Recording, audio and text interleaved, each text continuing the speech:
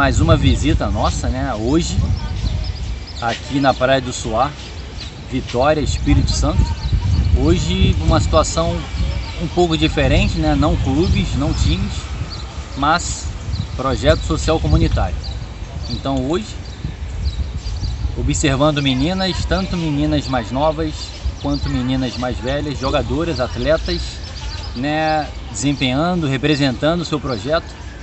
E aí, num torneio aqui, Copa WF, que terminou ontem, a equipe de São Pedro foi a vencedora. Pude conversar com todas, trocar uma ideia, levar informações, como já vem sendo feito, né? Por todos nós, confederação, federação, seleção brasileira, que na verdade tudo isso é um corpo só. E aqui nessa quadra, nesse campo, um campo considerado berço aqui do beach soccer aqui no Espírito Santo, Praia do Suar. Pude observar os projetos, alguns projetos existentes aqui no Espírito Santo. E fiquei muito feliz pelo que vi, com o que vi, né, projeto social comunitário. Acho que é o que precisamos. Talvez seja o início de tudo. Hoje estamos aqui com essa geração, mas daqui a 10 anos, 15 anos, precisamos, né, ter meninas mais novas. Uma equipe aqui é a Escolinha de São Pedro com meninas entre 13 e 18 anos. Um grupo de 16 meninas mais ou menos. Fiquei encantado com a história de cada uma delas, pude né, saber um pouco delas e enfim, é um processo, mais uma etapa. Acho que o caminho é esse. Um abraço. Rosemary, treinadora do São Pedro de Soccer. A gente acabou competição agora, a Copa WF, que é uma Copa de integração das comunidades aqui de Vitória, no Espírito Santo. Nossa equipe foi campeã.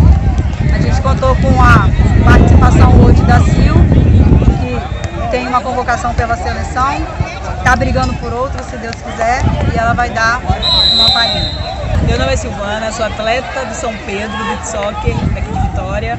É, hoje acabamos de jogar uma final aqui contra, contra as meninas do próprio nosso projeto. Foi muito bacana porque, querendo ou não, a gente é um espelho para as meninas, né? A gente é referência para as meninas. Muito legal e está sendo muito legal ver o crescimento das meninas, ver que o trabalho está sendo bem desenvolvido. Estou muito feliz por estar aqui hoje. Fiquei muito nervosa de estar jogando contra as meninas, as meninas que eu vi crescendo, pequenininha, mas foi muito bacana e o trabalho é esse, o trabalho não para.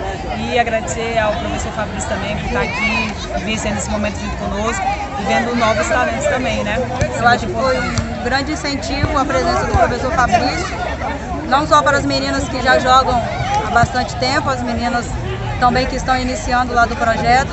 É, tinha meninas até de 13 anos, então foi uma forma de incentivo é, e até emoção, algumas até choraram por ter participado de uma final é, que envolveu nossas duas equipes, a base e o São Pedro. Isso demonstra a importância do trabalho na base, a importância é, do comprometimento e de querer sempre, buscar sempre o melhor na modalidade. É, porque às vezes a gente acha que não é possível, né?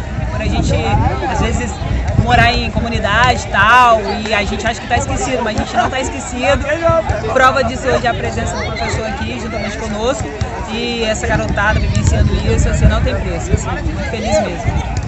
Eu sou o Maicon, treinador da equipe feminina do Craques da Praia.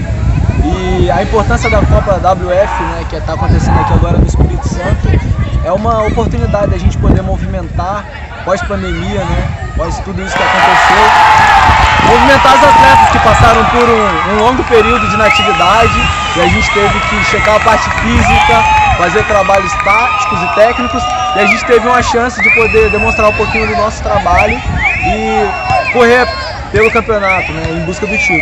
Infelizmente ele não veio, né, porque tiveram outras equipes mais qualificadas, mas a gente segue trabalhando. É, o nosso projeto ele surgiu no início do ano, já existe a equipe masculina do Crack da Praia, mas a partir de fevereiro a gente montou uma equipe feminina com meninas dentro da nossa comunidade aqui na região da Praia do Suá, em Vitória, no Espírito Santo.